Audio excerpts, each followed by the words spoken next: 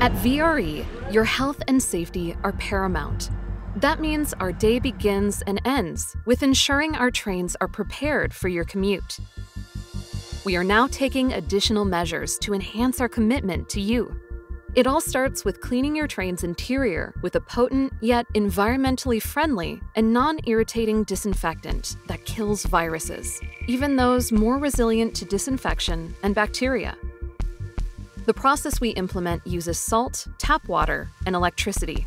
This solution can be 100 times more powerful than the comparable chemical compound in bleach. Special attention is given to frequently touched surfaces and the air filters and intakes. Prior to boarding your train, the body temperature of conductors and engineers are checked.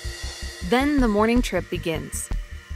Your train arrives at stations that support social distancing and offer hand sanitizer. Riders board to find railcar interiors clearly labeled, showing where to sit and stand while on board.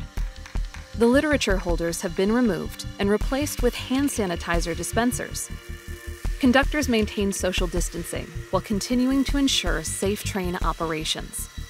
After the train completes its morning route, it's wiped down with disinfectants, again with special attention to frequently touched surfaces before its afternoon trip home. In addition to these daily procedures, we also wash our trains using a pressurized drive through system to keep their exteriors clean. And though our ticket vending machines are cleaned daily, we offer VRE Mobile as our contactless ticketing option. Safety is our top priority at VRE, and we're committed to maintaining a safe environment for the return of our riders. We ask that riders also do their part by following current executive orders, health and safety guidance, and practice good hand hygiene. When you're ready to return to the office, we'll be here. Welcome back.